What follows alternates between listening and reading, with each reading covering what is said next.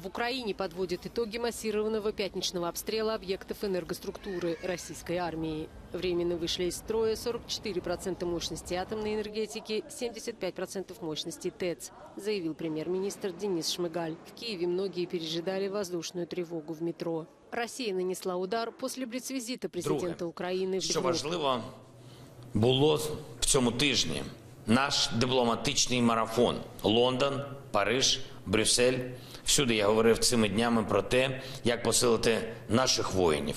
Є дуже важливі домовленості, і ми отримали В хороші пятницу стало сигнали. известно, что ВВС Украины подали запрос Нидерландам на поставку истребителей F-16. Это подтвердила в Твиттере министр обороны Карин Олангрен. В начале недели испанское правительство отправило 20 бронетранспортеров из порта Бильбао. При этом швейцарские власти отклонили запрос Испании на передачу Украине двух зенитных орудий швейцарского производства.